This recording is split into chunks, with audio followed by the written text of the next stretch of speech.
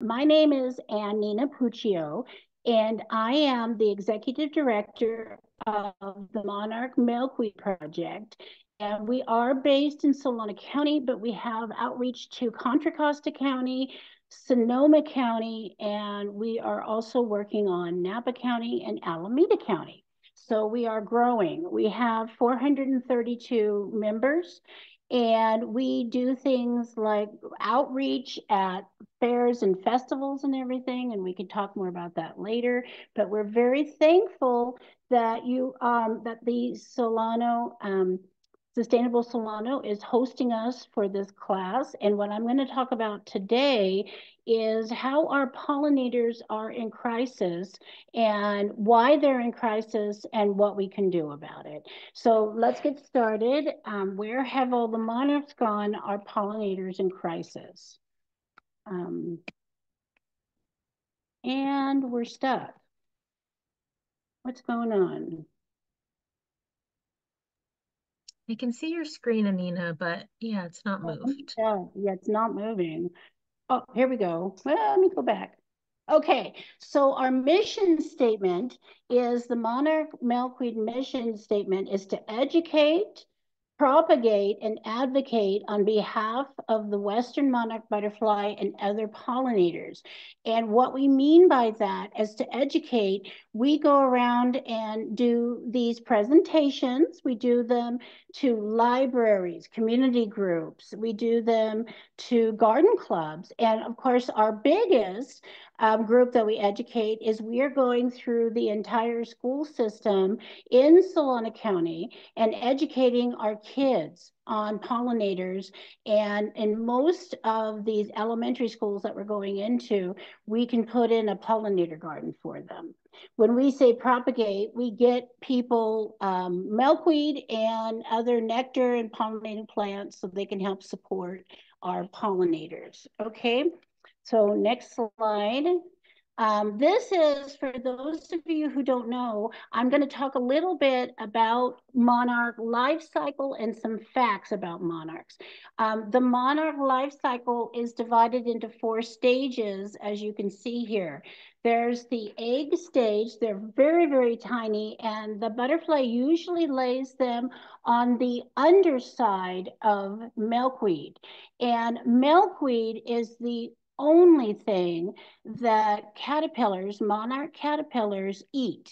It's the only place where monarch butterflies lay their eggs, and it's the only thing that the caterpillars eat. And as you can see here from the life cycle, it goes from egg to caterpillar to chrysalis to butterfly. Now they have four main stages, but there are different instar states. And real quickly here, I'm going to show you a very rare video of the monarch caterpillar being born because these eggs are so tiny, you never ever get to see a monarch caterpillar being born. They're so tiny. Um, but yeah, you see it coming out of the egg. It is so exciting that we get to see that in this video. Um, and then let me show you the instar stage. Like I said, the first stage is the caterpillar coming out of the egg. Now, the monarch caterpillar is the only invertebrate that will actually grow 3,000% before it takes its chrysalis stage. And it's broken up into five instar states. So there's instar state one, two, three, four, and five. And if you have seen monarch caterpillars out there in, on milkweed, um, you will see how large the caterpillars can actually get. Um, here we go. This is the chrysalis formation. And it's pretty exciting because what happens is the caterpillar will um, start out and make a J. You see the J there in the top left-hand corner? That way, that you know is the caterpillar is getting ready to go into a chrysalis state.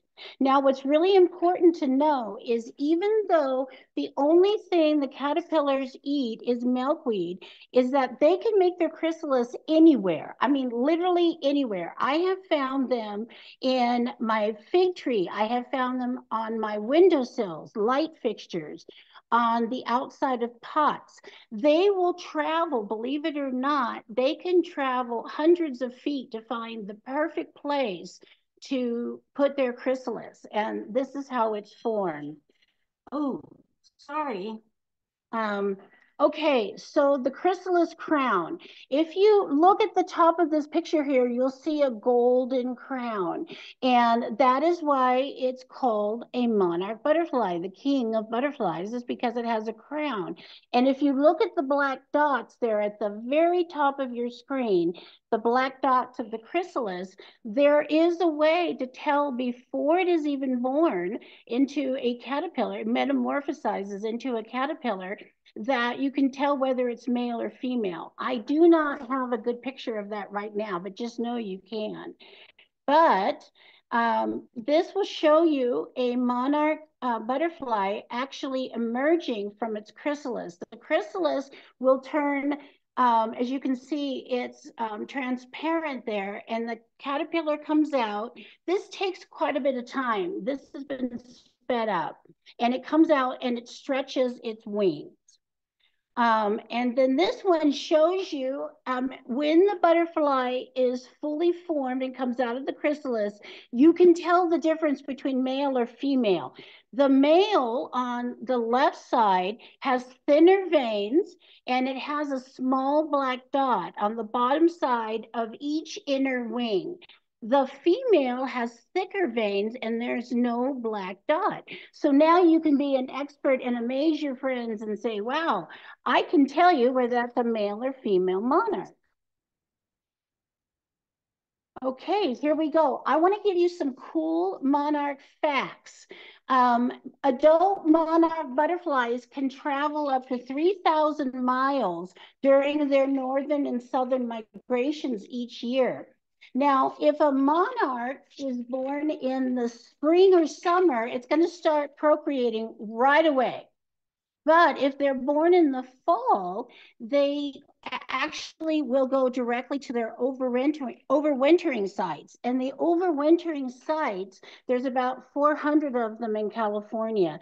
That's where they will gather together on roosts and they will tough out the winter months. And we will talk a little bit more about that in a few minutes. They are so incredibly strong and resilient. They will fly up to 10 hours a day and they can actually travel 300 miles in one day. Um, they will fly for approximately 60 days to get to their over their overwintering sites. They can actually soar at heights up to 1,200 feet and live for two to four weeks. Um, and during their um, migration, and I'm going to show you that on a map, but during their migration, there will actually be five generations of butterflies.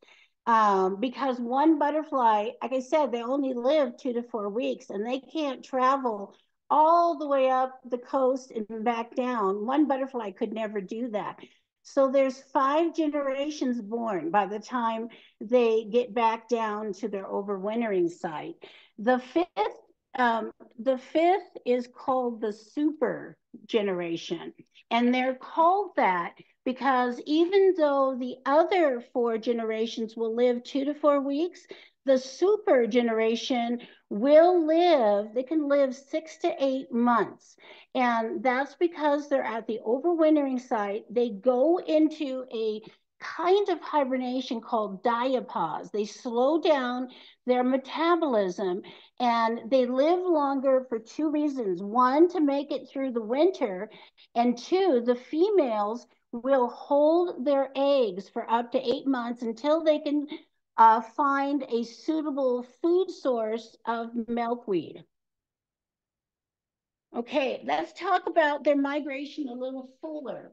On the left side of the map here um, is where there's a map here that has California. Everything west of the Rockies are called Western monarch butterflies. Everything east of the Rockies are the Eastern monarch butterflies those will migrate. They go, uh, the Western goes from Baja California all the way up to Oregon and Washington. Sometimes they're found in Canada and then they turn around and come back and they'll go to one of the overwintering sites along the coast all the way down to Baja California. The eastern monarchs, their overwintering sites are in Mexico and they will fly up from Mexico all the way across the United States and up into Canada. And then there is a non-migratory population that you can see that is represented by the purple in Florida. They do not migrate, and we think it's because they might have cool condos or skimboards or something, and it's just too cool to live there. I joke. But anyway, let me tell you something about the winter, overwintering population in Mexico.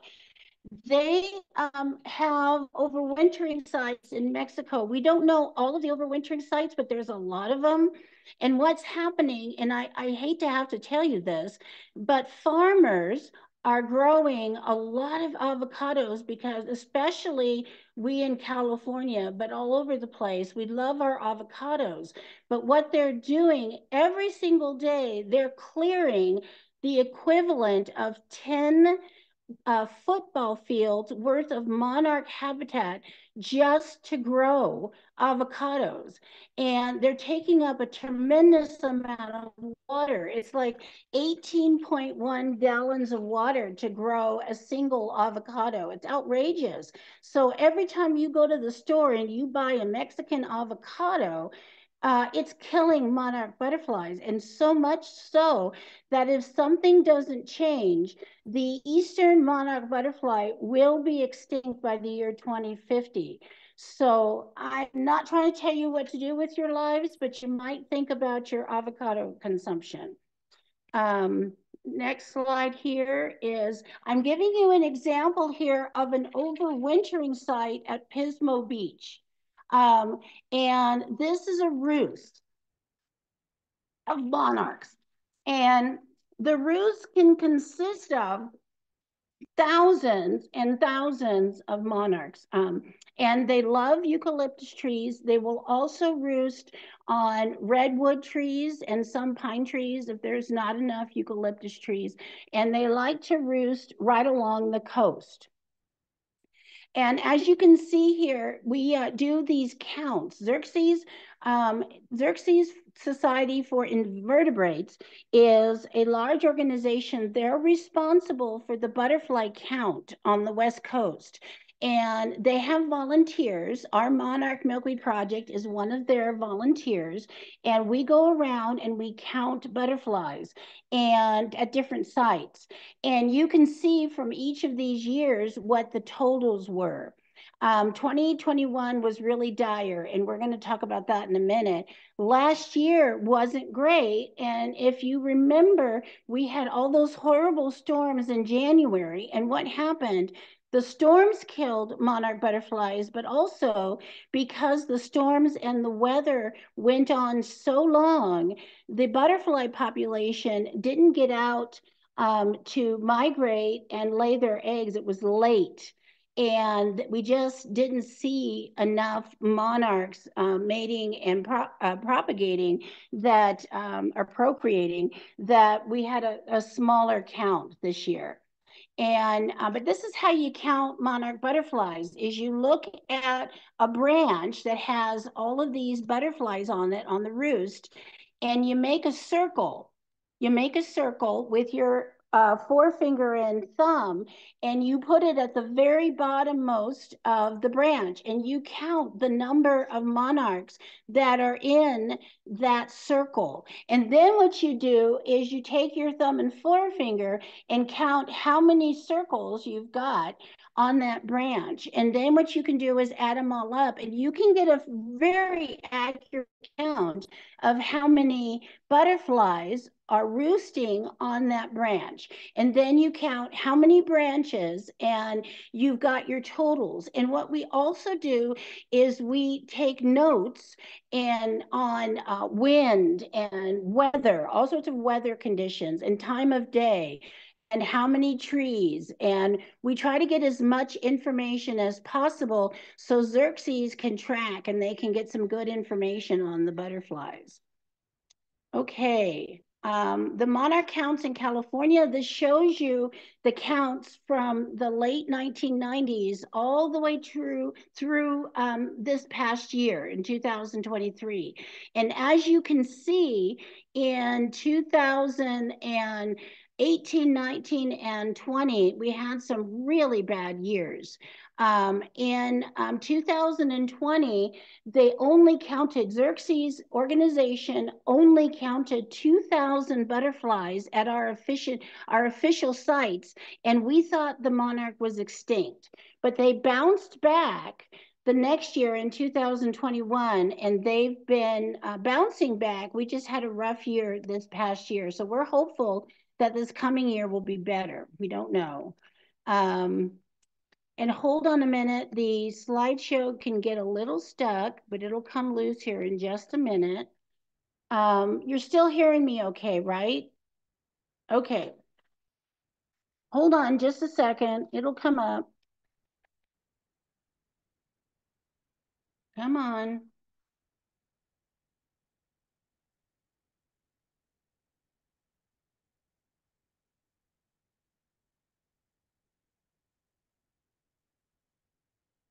Come on, come on. Ah, here we go.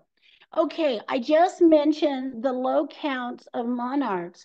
Uh, 30,000 monarch butterflies is the number that researchers have set as their uh, threshold for collapse of the population. We had much less than that in the year 2020, but like I said, they rebounded. Um, and it's really important to know that the monarch is considered an indicator species. And what that means, it's a reflection, an indicator of how the overall pollinator population is doing. And so if you're having a bad year with monarchs and not having very many monarchs, it also indicates that other pollinators are probably struggling too. And we're going to talk about native bees here in just a minute, but it's really important to know that that's one of the major reasons why we count uh, monarch butterflies. Um, okay, so let's talk a minute about um, pollinators in general. In the United States, there are 4,000 uh, bee species, native bee species. We're not talking about honeybees because honeybees are not native to the United States. They were brought by, by Europeans to the um, country back, I think it was the 1700s. But anyway, native bees are things like the American bumblebee and the Western bumblebee. Um, and um, they, like I said, there's about 4,000 of them. Worldwide, there's 20,000 uh, bee species. Now, in the United States, of those 4,000 bee species, 700 of them are in California.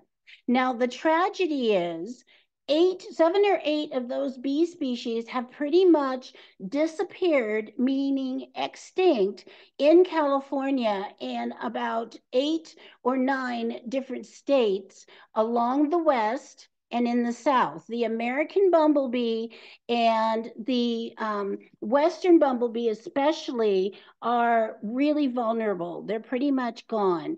The other one I wanted to mention to you is the rusty patch bumblebee. That used to have um, habitats all throughout the Midwest and to the used to be millions of them. And in 2022, the US Geological Survey came out and took a survey of all rusty patch bumblebees, and they found out that in the wild, there were only 471 left. And I don't know how they determined that, but they did. And basically, rusty patch bumblebees have been added to the extinction list. And speaking of extinction lists, last year, 21 species were taken off of the endangered species list because they are now extinct. That is a combination of animals, fish, insects. Um, and in the last hundred years, we've lost 500 different species.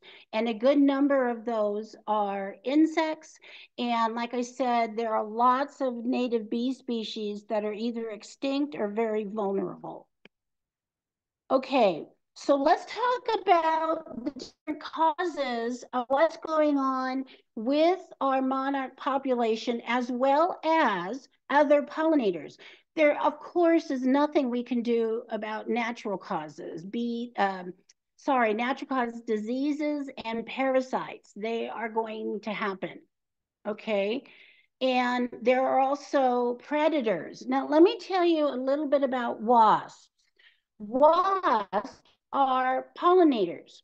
As a matter of fact, there are seven, no, 900 species of wasps that are fruit wasps and they are antisocial. They are not the wasps that we're all concerned about, like mud daubers or hornets or you know the ones that live on the ground or on your eaves. That's not what we're talking about. Um, these 900 wasps, what they do is they pollinate, believe it or not, 900 different species of fig trees. And only wasps pollinate fig trees. And if we didn't have these fruit wasps, we would not have fig trees. So I always have a conflict because I don't know what wasps are trying to kill my monarch caterpillars and which ones are trying to uh, take care of my fig trees. And it's a real issue here in Benicia because we have a real wasp problem. So I tell people to be careful and kind of consider what you're doing um, on killing wasps because a lot of people just indiscriminately kill them.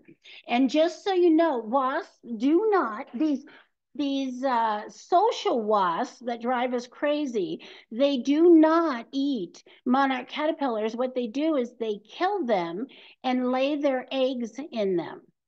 Praying mantis is another predator. And also too, there are some uh, fly predators too. Um, so let's move on. Um, okay, let's talk about climate change. If you see here this picture on the left, that is um, a picture in the Mex one of the Mexico monarch overwintering sites. They had a freak storm that a couple years ago that uh, a snowstorm and frost, which was not supposed to happen at that elevation, and it killed off hundreds of thousands of the eastern monarch. Frost will kill monarchs. Um, you know, climate change, droughts, and uh, we're all, well, I'm going to come back to herbicides and fungicides. Let me go here. Habitat loss, wildfires, droughts, indiscriminate development where us as human beings, we don't take into account natural spaces that feed our pollinators. These are causing tremendous, tremendous problems with all of our pollinators, and they are pushing pollinators to go extinct, especially our, um, not just the monarchs, but various bee species. Um, and um, what I want to talk to you about with um, bee species um, pollinating is that our bees are very important and the monarchs too, because monarchs are pollinators as well. Um, there are a lot of foods that we eat that must be pollinated.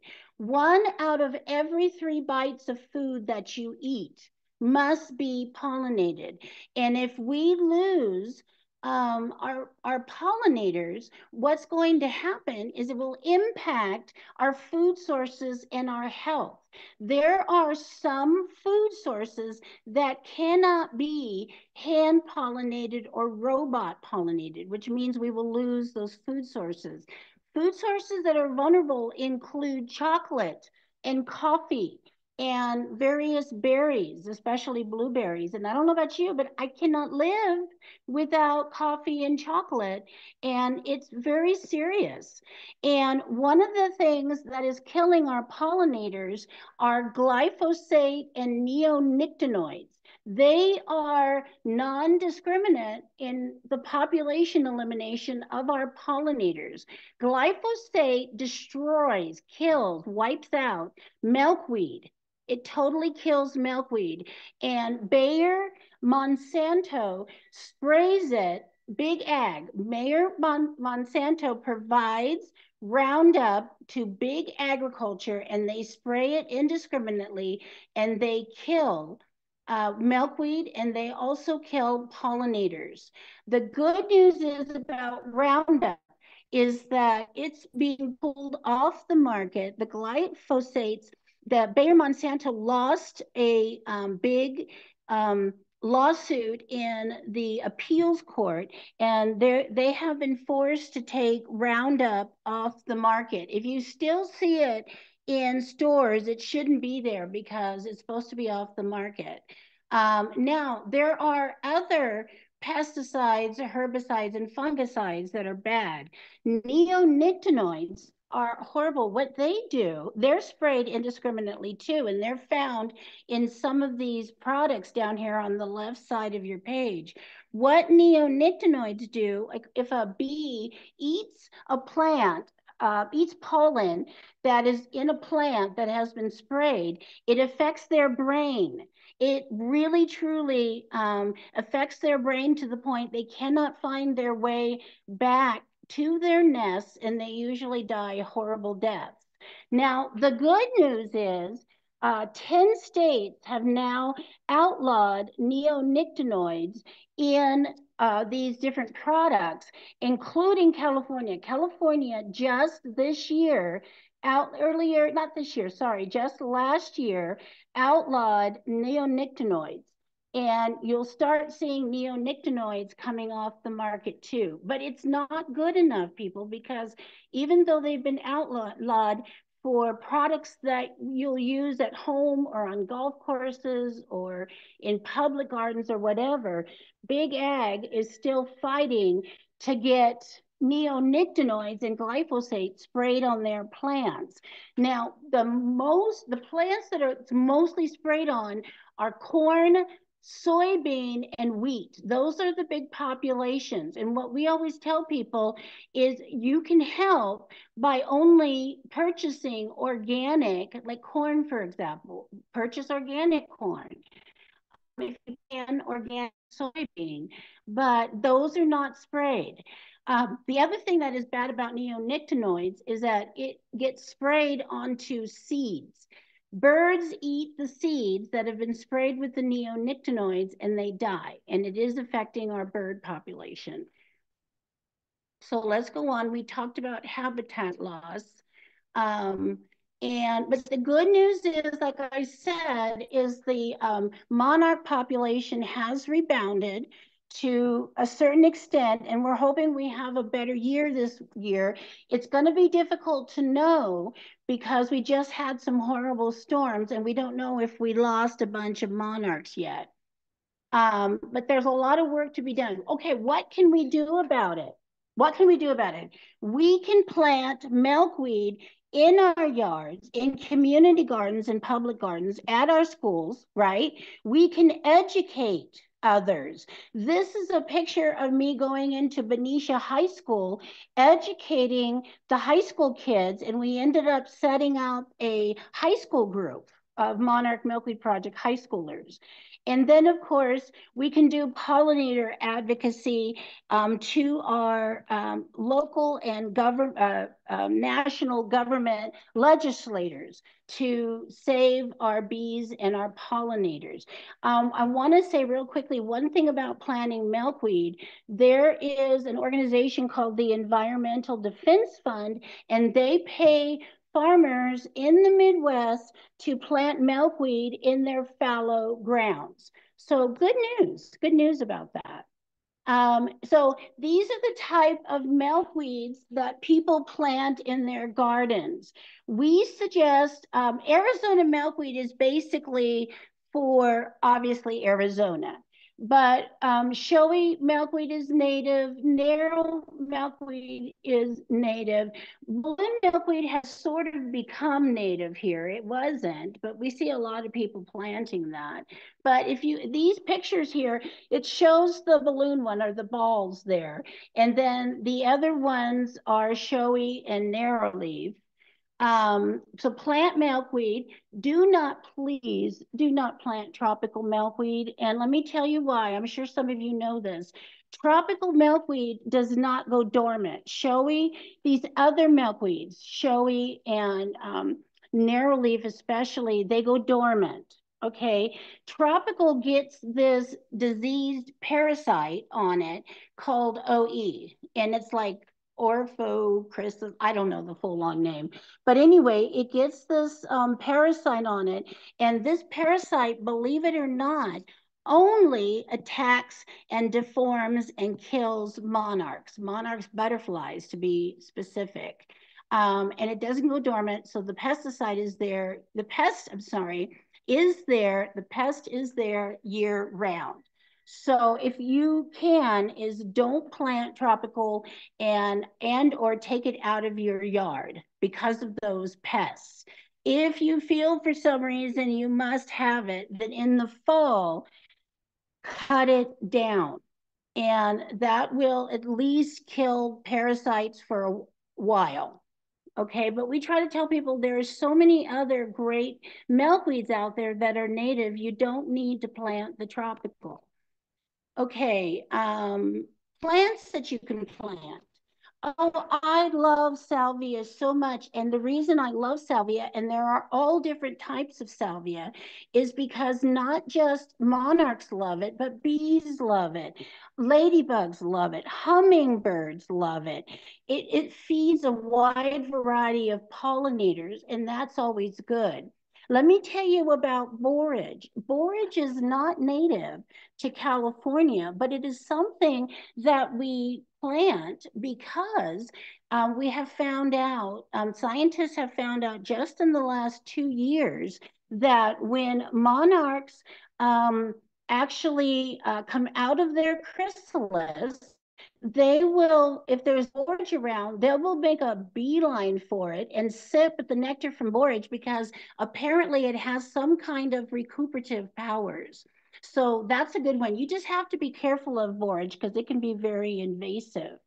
But goldenrod is great. Um, there's seaside daisy here in California. Yarrow is fantastic. There's lots of native plants that you can plant to fill out your pollinator garden and feed pollinators. One of the things that we discovered, we have this huge artichoke uh, plant. And it's very, very productive. And we got tired of the artichokes. So a couple years ago, we let it just go to all the way to the flower. We ended up feeding 10 different bee, butterfly, and ladybug species. They love the flowers of the artichoke. So we were really pleased with that. Okay. Um, so please avoid pesticide use, build a monarch way station and spread the word, please. A monarch way station is a combination of milkweed and native plants that you plant in your yard to attract um, pollinators. And I'm going to show you what those look like. And there's an organization called Monarch Watch that if you will plant a pollinator garden, you can apply to them to get a certificate and a way station sign that you can put in your yard showing that you've got a pollinator garden and they keep track of all the different pollinator gardens in the United States.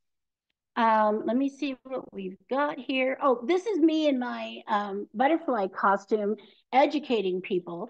Here are some of the programs that we have that we do. We do everything from, you know, presentations to showing up at festivals and mark uh, farmer markets. We've got lots of informational material. We actually distribute seed packets of both wild uh, flowers and milkweed. And we teach people how to plant their gardens. We have free garden consultations and things like that. Um, here's the pollinator pathway. A year ago, a year ago in February, so it's just been about a year, we put on, um, I'm sorry, not put on, we installed a what we call the pollinator pathway right next to the Vallejo People's Garden on Mare Island.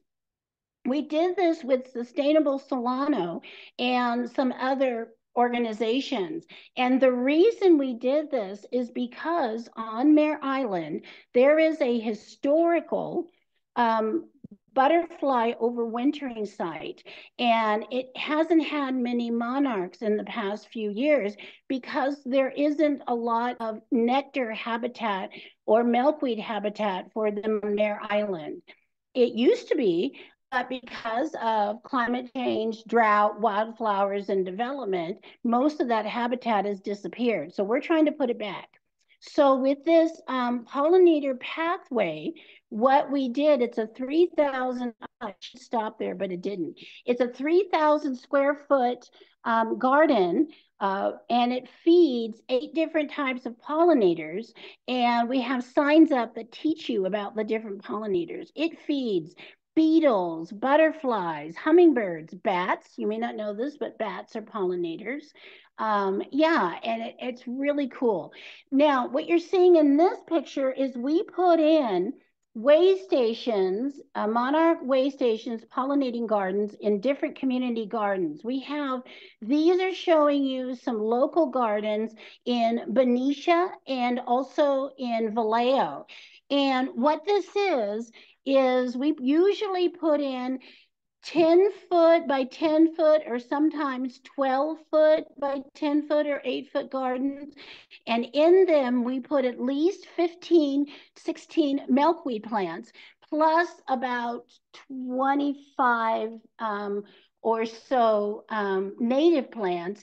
And that these gardens these garden plots will feed hundreds of pollinators of all kinds and it's really easy to put a garden together, a pollinator garden together, so much so that our members have put in all sorts of different pollinator gardens. You can put them um, on the ground in planter boxes. You can put them above the ground in planters. It's really, really easy. It just depends on your location, your space. Um, the smallest uh, pollinator garden that we have put in on the ground is eight foot by six foot. But if you only have a planter box, you can do that too. And it's really easy. You just um, if you're putting it on the ground, what we suggest to people is that you put down those big coffee roasting bags and that you put in a planter box around it because some of the native plants can be very invasive and if you they're weeds and if you want to control them that makes it easier and then you uh, put in good soil and you put in your plants and some kind of irrigation or watering system. They're all drought resistant, so you don't need to do a lot of water, but you need to water them in. And once they're established, they take very little water. And there you go. This, uh, the ones in the metal planters, what you're seeing there, they've grown just beautifully, those plants. And um, the one on the upper right here that has the planter box, it's hard to see in this picture, but the reason that it has the tall wooden piece going up is because this uh, is in a very sunny place and they put um, those um, big wooden spikes up so they can put netting over it to keep the sun out part of the time. And what we tell people is you want to plant uh, morning sun and afternoon shade if possible, because especially here in California, it gets very, very hot and um, it will kill uh, the monarch caterpillars if it gets too hot. If it gets above 91 degrees, monarch caterpillars can suffer and die. So we tell people if you only have sunny spots, put up some kind of netting that will um, keep the sun out part of the time. And then I wanted to tell you is how can you help us? Well, the cool thing is, people, we are doing a festival. On March 19th, we are hoping to put on the largest um, butterfly festival that's ever been put on the West Coast with thousands of people there, about 160 to 200 vendors. We will have stages with music, presentations, and kids' activities. We will have workshops and presentations and demonstrations. It's on May 19th from um, 10 o'clock in the morning to 5 o'clock p.m. and it's on Mare Island. And um, yeah, if you are interested, um, our friend here, Jazz, um, Jasmine, is going to put up the Eventbrite link so that you can join us. And I just want to put up the last slide and say thank you and watch the beautiful butterfly fly away. But thank you very, very much. And I'm turning it back to Jasmine.